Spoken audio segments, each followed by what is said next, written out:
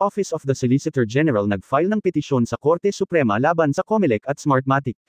Nag-file ang OSG, sa pamumuno ni Solicitor General Jose Calida, ng 110-page petition for certiorari, prohibition and mandamus laban sa Comelec at Smartmatic sa Korte Suprema kahapon. The petition seeks to compel the COMELEC to faithfully execute its constitutional duty to enforce election laws, rules and regulations.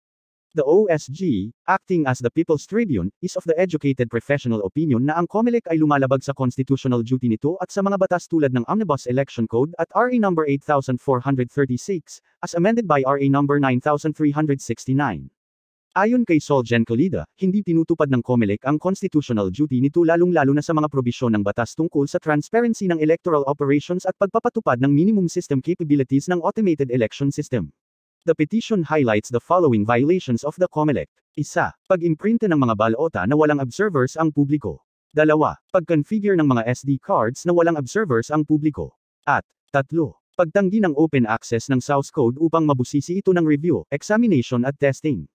Dagdag pa ni Solgen Colida, dapat ang COMELEC lang ang may exclusive control ng lahat ng servers na tatanggap ng mga resulta ng halalan, hindi dapat makialam ang SMARMATIC sa mga servers na ito, at dapat fully implemented ang paggamit ng digital signatures ng mga election tellers ayon sa utos ng batas.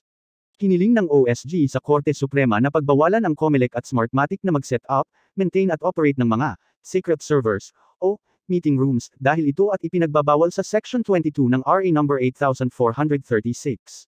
Iginiit din ni Solgen Calida na ang probisyon ng kontrata ng COMELEC na nagbibigay ng copyright ownership ng election software sa Smartmatic ay walang bisa dahil ito ay labag sa batas. Bilang copyright owner, makakapanghimasok ang Smartmatic sa mga kritikal na aspeto ng automated elections tulad ng source code review. In closing, sabi ni Solgen Calida na dapat pakinggan ng Korte Suprema ang panawagan ng taong bayan na ipatupad ang mga suggested countervailing measures ng OSG upang masiguro ang integridad ng darating na halalan. Solicitor General Colida assured the public that the OSG, as the People's Tribune, will not shirk in its bounden responsibility to represent the state's best interest and protect the Filipinos' constitutional right to elect the next leader of our country.